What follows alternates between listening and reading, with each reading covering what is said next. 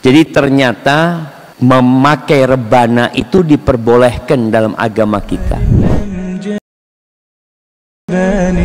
Kita masuk ke dalam pembahasan i'lanun nikah, mengumumkan pernikahan, mengiklankan.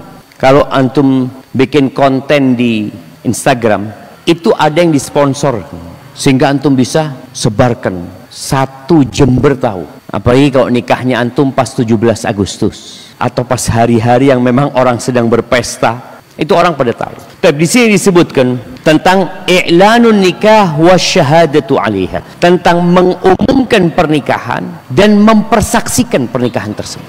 Berarti ada dua masalah. Masalah pertama mengumumkan, yang kedua mempersaksikan. Kalau mengumumkan, maka ternyata hukumnya itu mustahab, dianjurkan saja. Yustahabbu i'lanun nikah dianjurkan mengumumkan pernikahan. Ini semua ulama sepakat bahwa mengumumkan berbeda dengan mempersaksikan. Mengumumkan itu ya dengan walimah umpamanya, dengan memberikan pengumuman lewat undangan. Apa dalilnya bahwa mengumumkan pernikahan itu sunnah? Hadis Rubai binti Muawid radhiyallahu anha dia berkata, "Dakhala alayya an-nabiy sallallahu alaihi wasallam ghatata bunya alayya."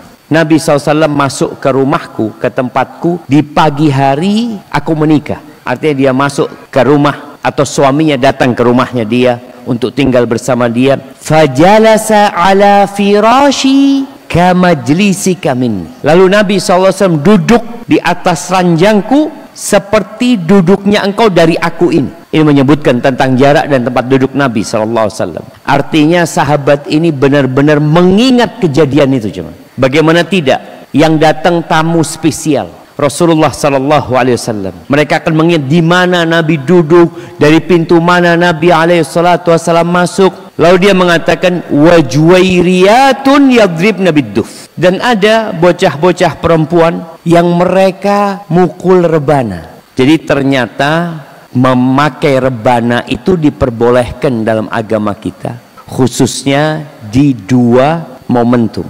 Yang pertama pernikahan, walimatun nikah, yang kedua ketika Idul Fitri dan Idul Adha. Kita tuh beragama yang biasa-biasa saja. Jangan berlebih-lebihan. Jangan mengharamkan yang halal dan jangan menghalalkan yang haram. Apa yang menjadi standar kita? Rasulullah SAW. Nih, pada saat pernikahan Nabi ada di situ dan di situ ada bocah-bocah perempuan pegang duf, pegang rebana ya, sambil memukul rebana tersebut yandubna man qutila min abaihinna yauma badr.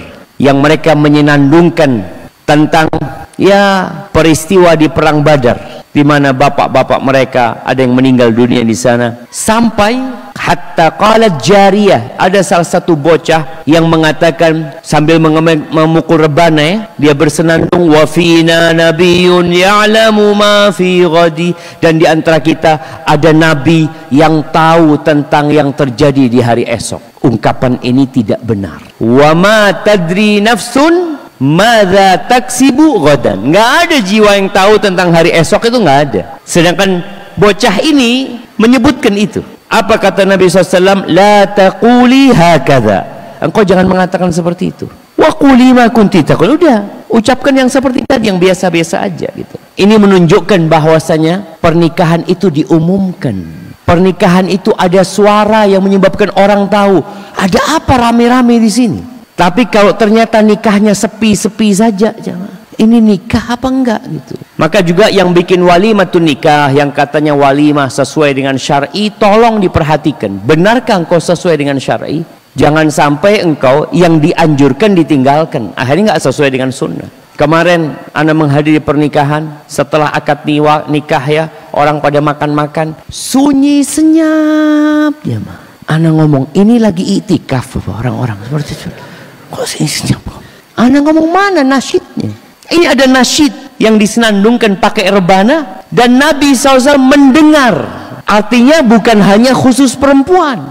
Bukan itu disenandungkan tempat perempuan yang laki diam doang ya. Ngeliatin sana, ngeliatin sini.